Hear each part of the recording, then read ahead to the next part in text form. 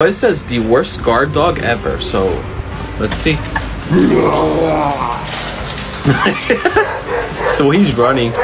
Yo, he's running just like Scooby Doo, man.